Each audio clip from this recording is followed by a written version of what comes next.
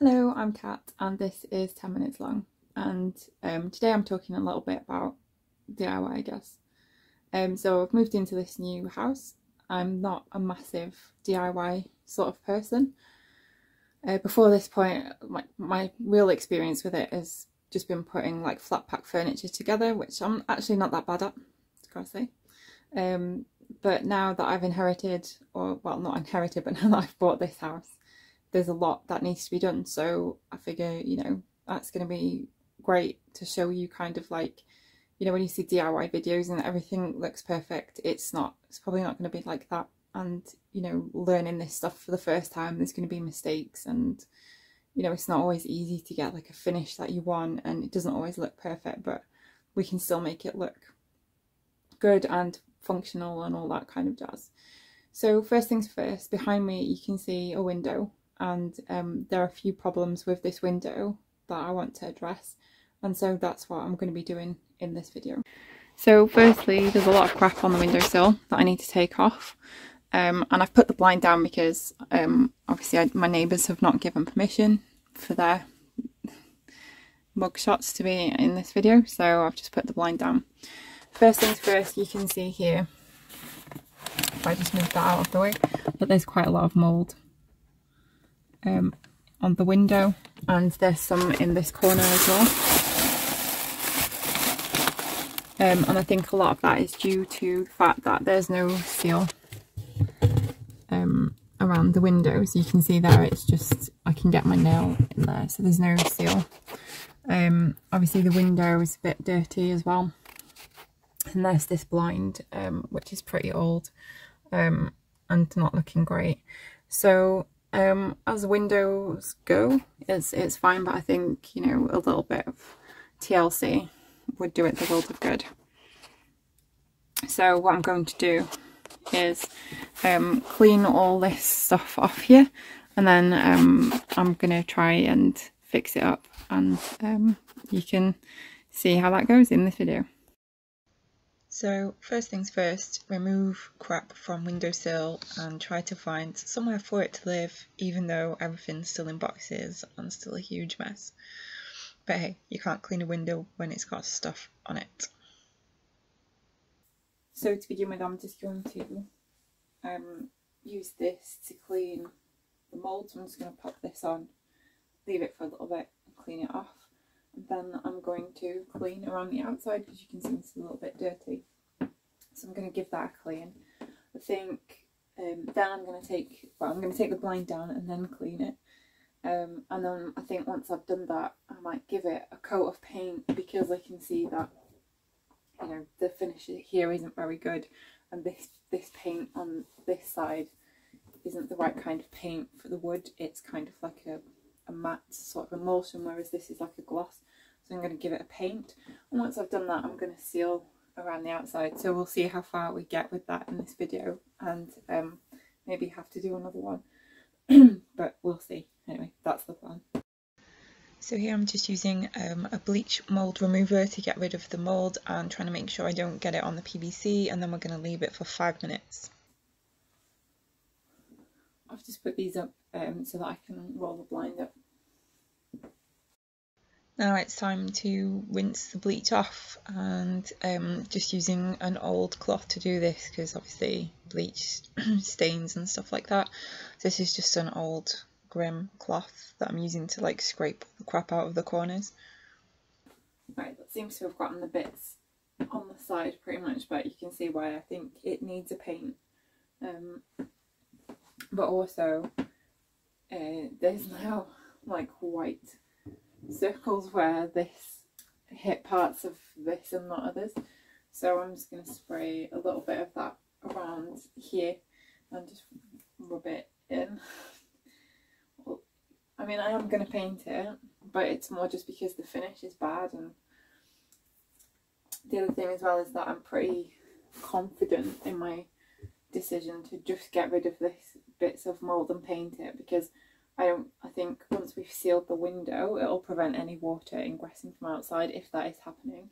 But I actually think this is probably more a result of um, condensation than anything else because in the month or so that I've owned this place, this hasn't gotten any worse at all and we've had lots of rain so I think that's what it is so that's why I'm just going to treat it and then paint it and seal it and hopefully that will sort it out. And if not then I don't know I'll have to look up how to replace a wooden casement I suppose. Uh, so yeah I'm just going to spray a little bit more of this and then take the blind down and give it a good clean. But I'll probably do that later so this video might seem a bit janky as I like cut bits of it together. And so why I cut the audio for this really. Is just ch ch ch kind of sounds. So yeah insert ch ch ch sounds while I do this. If it was just a cleanliness thing I'd probably leave it but um, it's not. This is like it is mould whereas like this bit which just needs cleaning I'll just clean it. Whereas this bit is mould and I'll you know I'll give it a good clean before I paint it but I think the mould needs to come off. So yeah leave that for five minutes so the next step is to rinse all of the bleach off again and again you got to do like a really tidy job of it making sure there's no bleach left so that it doesn't react with anything else um, that I'm going to put on there. At this point I stopped talking to camera because I realised that it was already taking like way longer than I thought it would but here I'm just removing the blind so you can see I've just popped out the blind and then um, taken out the little plastic clips that allow me to get to the screws. I had bought the wrong screwdriver bit up so I had to come up and I had to go and change it. So it needed a flat head not a star head whatever it's called. Uh, and there you can see that I've just gone into the screws and I'm just unscrewing the little plastic bits on the top.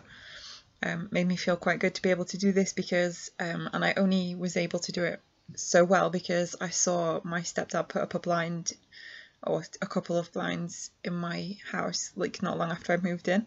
So I was kind of relying on that knowledge to like reverse engineer how to take it off.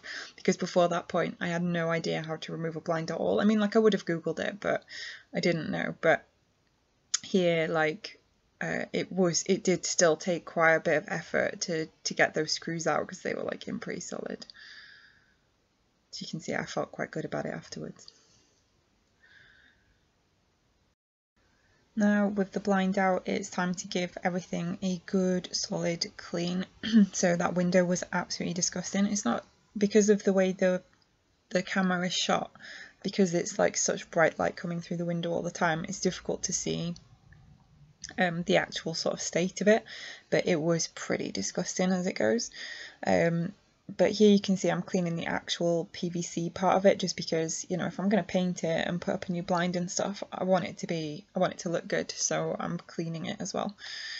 Um, so the PVC part I am just cleaning with the sponge side of like a washing up sponge and washing up liquid because PVC is kind of actually sensitive even though it's like really durable it's quite sensitive. So if you use bleach on it it can like make the PVC go yellow. And if you use something abrasive on it then it can scratch the PVC and that gives like dirt and grime a foothold um, to go into the kind of like frame in future. So here you can see me just just using like I say a sponge and washing up liquid and I'm like really getting in there. Like I've opened the window I'm going all the way around the frame. All inside the frame is disgusting but I didn't go too mad. I just kind of like stuck to the outside of the frame. Um my kind of worry with going like inside the frame is that um you'll you'll kind of like get water on the gubbins which will kind of make it go rusty. Uh, once I finished with the PVC I started cleaning the wood around the window so all this white stuff is is just painted wood um, and what I'm doing is painting is um, cleaning it with sugar soap and sugar soap is quite a common um, thing to use on painted surfaces before you um, paint them because it just gets get rid of so much stuff. I think a lot of people don't use it for general cleaning because it is it's not abrasive as such, but it is quite a harsh chemical really. Um, but if you've ever got a stain you really really can't get out, then um, sugar soap's a really good way of getting it sorted, especially on walls. So here I'm just going over the whole thing with sugar soap and you can see that already it's just looking just so much better, even just for having had like a good proper clean. Um, but that's what this bit is. See me reading the bottle like, do I have to rinse this off? That's what I was wondering at that stage. Does it need a rinse? And the answer was yes, it totally did need a rinse. So I came back with a bowl of just water and um, back with my sponge and again just using the sponge side not the abrasive side um, and I was just using just a bowl full of water to just rinse it off. Um, the bowl I'm using is actually a dedicated cleaning bowl so I wouldn't recommend using your washing up bowl. I mean like a washing up bowl is great for stuff like this but um, it's an old washing up bowl that I don't use for washing up anymore so if you if you ever replacing your washing up bowl keep the old one because it's really useful to have one for um, stuff like this, you know, for cleaning and stuff because you don't want chemicals in your washing up. So yeah, what more can you say really about rinsing it off? But you can see that a lot of effort went into this. If you want to see what happens next, check out my next video next week.